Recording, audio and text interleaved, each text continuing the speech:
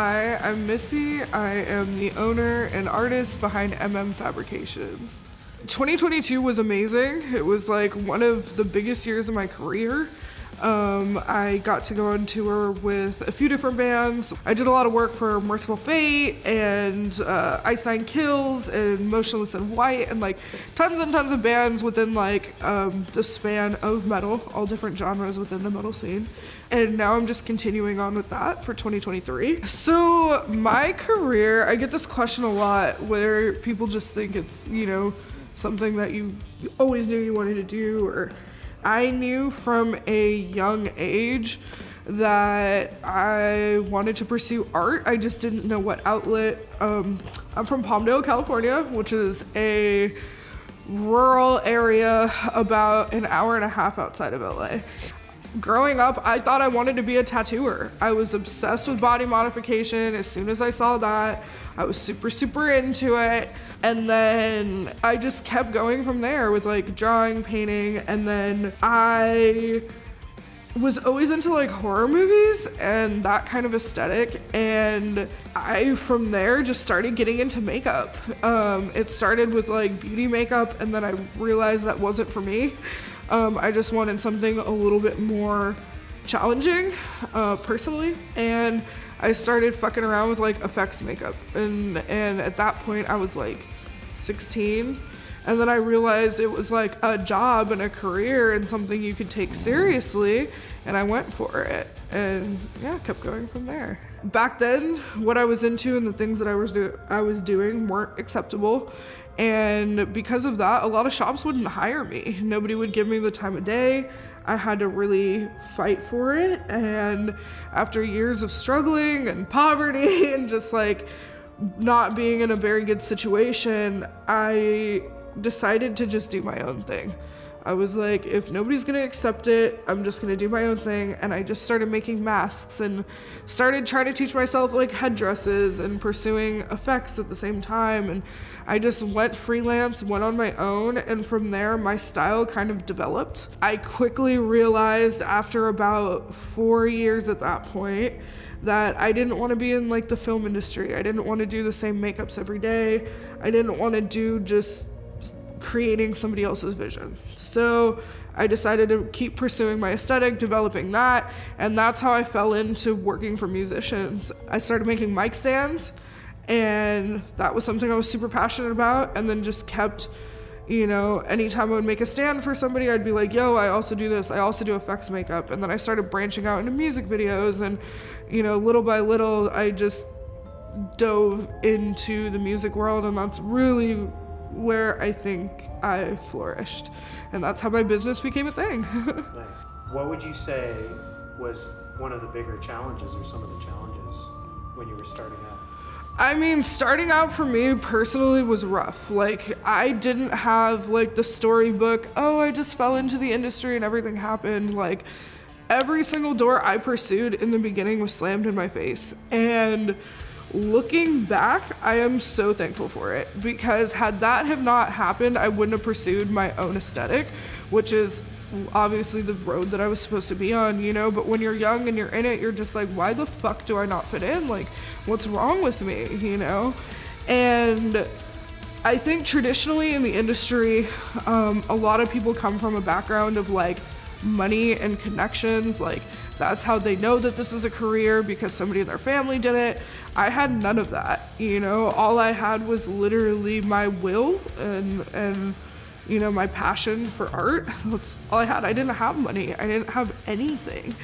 Even now, I still every morning wake up and I pursue things with like a fire and a passion because I don't know if that's always going to be available, you know? What I do is so weird and so niche that I didn't really have anybody to look up to or bounce ideas off of. So a lot of my career has just been flying blind and trusting myself and just coming from a place of love and doing what I think is right and doing it with the best intentions. And, you know, luckily the hard work is paying off. I, am definitely self taught. Um, what I do in my aesthetic is not something that existed when I started. So again, I had to fly blind and, uh, you know, just create what I knew how to do and then teach myself more and more and more.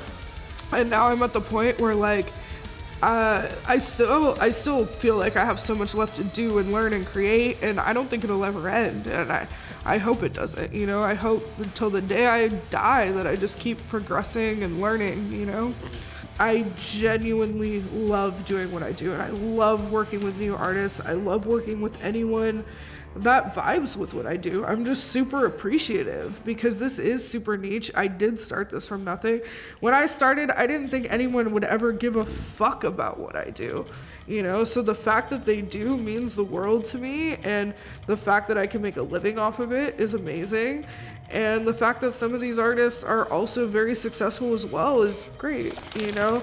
I'm just happy to share my work with whoever vibes with it working with Mercyful Fate specifically was like a very cool experience, you know, because growing up I had always seen King Diamond, like being a metal fan, you know, and I always thought the stage show that they put on was like the pinnacle of goth, you know, like it was goth, it was theater, it was all these things, but it was also, you know, had an era of just like raw horror to it, you know, and I loved that. I thought it was super, super cool, you know, and I never thought like King Diamond would ever fucking care what I do or know who I am or reach out to me, you know.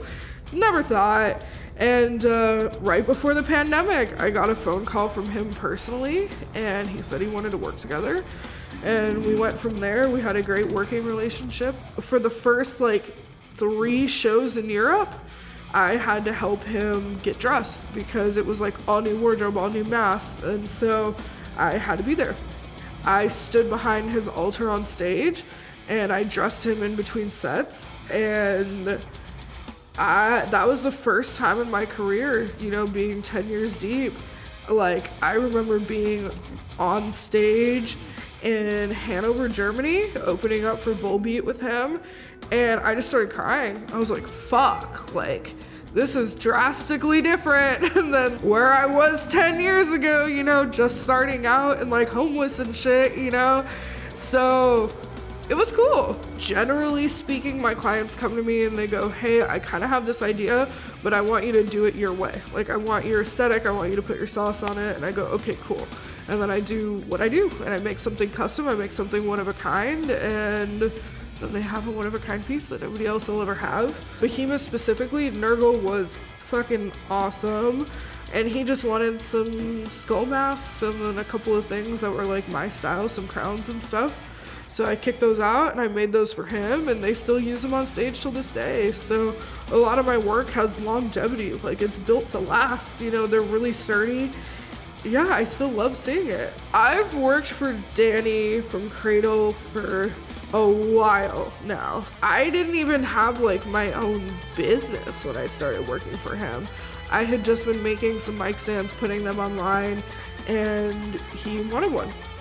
Brought it to a show in LA, and then after that, he just kept asking me to make stands, and I was just really appreciative. He was one of the first bigger artists to like ever give me a chance, you know, and that was huge for me. Like, I attribute a lot of where I'm at now to that moment, you know, of just being like, all right, I can do this. Like somebody gave me that positivity to like keep going, you know? So I'm super thankful to him. Now, years and years later, I'm still working with them. I still do their microphone stands, do a lot of like wardrobe and stuff for them. And then started creative directing. So their last two music videos, that they put out. Uh, I've worked with my friend Vicente. He's he does their directing, and uh, he tapped me to do like creative direction. And Dani was like, "Dude, like do it, please," you know. So we all work together. Vicente hits me up and he goes, Hey, we got this. This is the timeline. Here's the song. What do you think? What do you want to put in there? And a lot of it is a lot of trust. They they trusted me to execute a vision and to put my own spin on it. So all the creatures that you see in the last two videos are all mine. Those are just creations that I've wanted to put out and um, we find a way to put them in the video. Like the the first video that I creative directed for them was how many tears to nurture a rose, and that was like a hybrid. That was concepts that I felt fit with the video, and it was also concepts that I had like always wanted to do. Like the rotted Christ that you saw in there, I did on my friend Donovan from Ritual of Despair. And so I hit up Donovan and I was like, hey, I really want to do this. Will you be my rotted Christ? And he was like, yeah.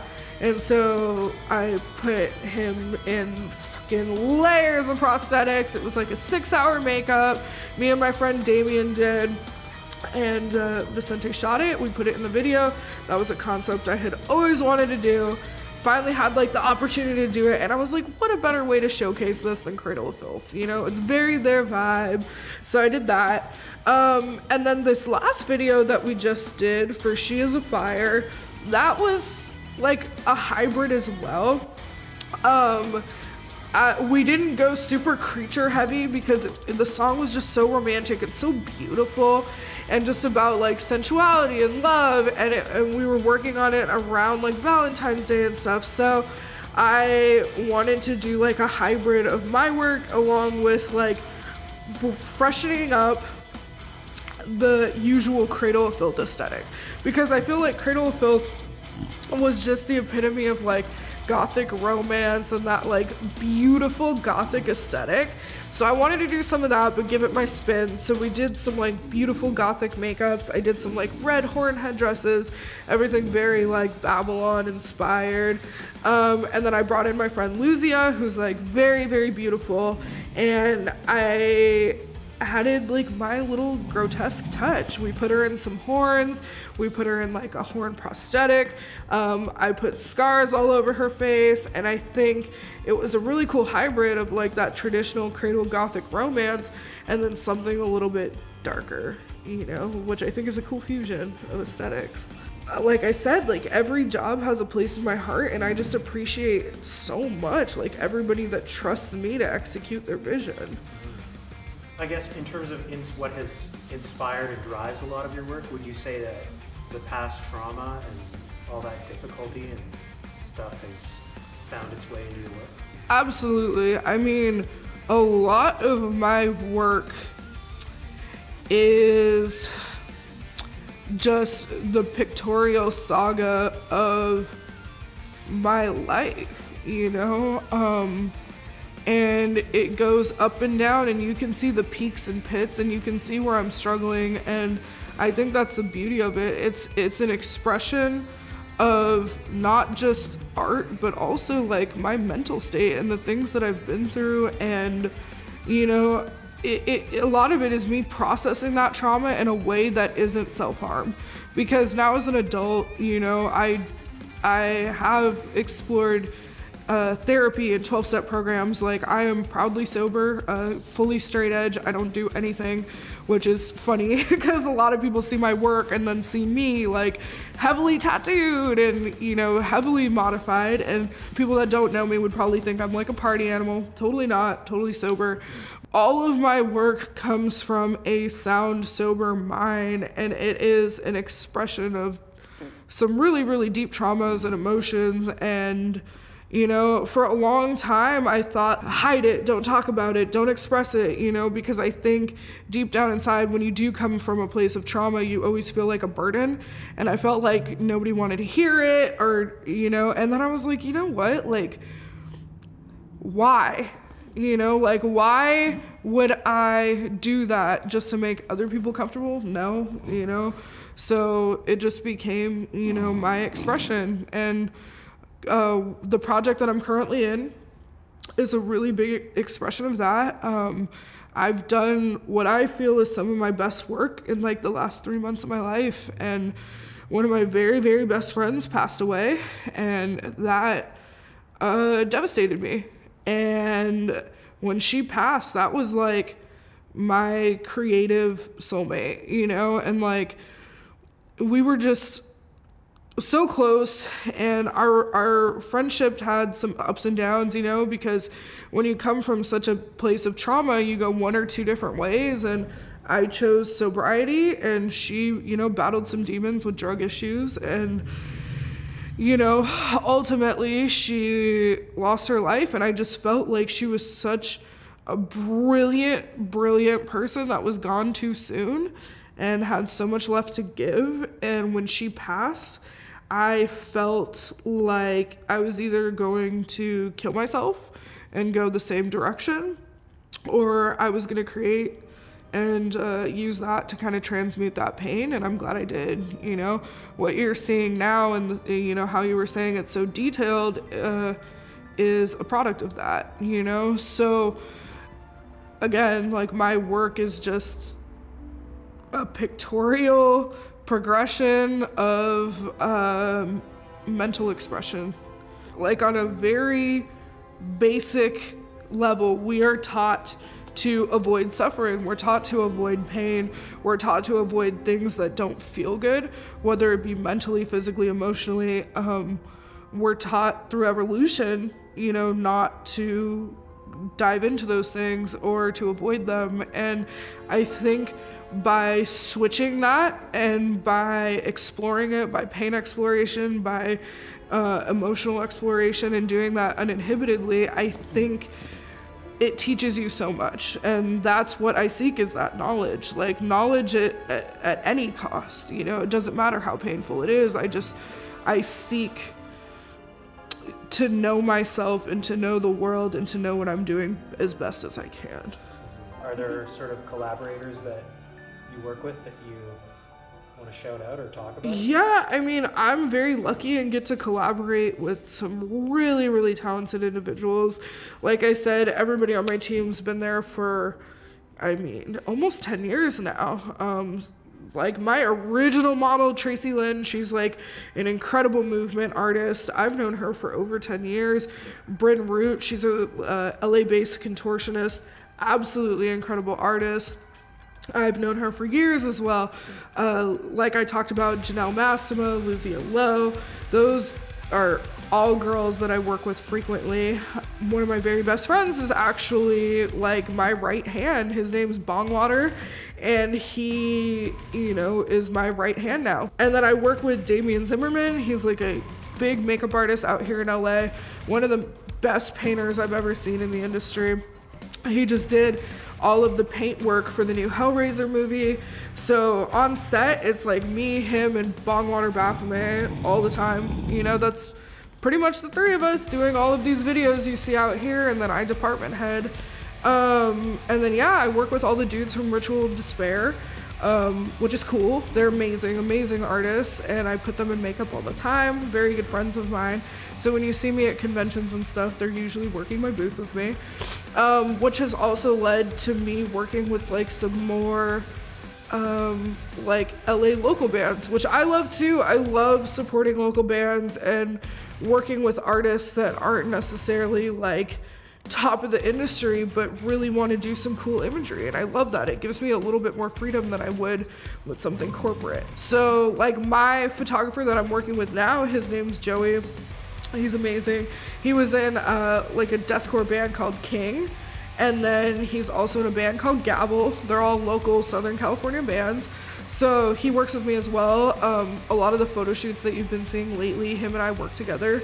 He's absolutely incredible and like he's in the local scene. Ritual of Despair work with me. They're in the local scene, you know?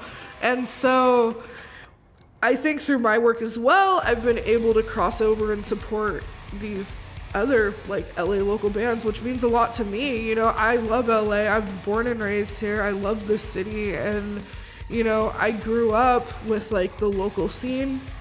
So, you know, I like to keep that alive and contribute it contribute to it wherever I can. I love collaborating with literally anyone that I can, anyone that's into my work or wants my work.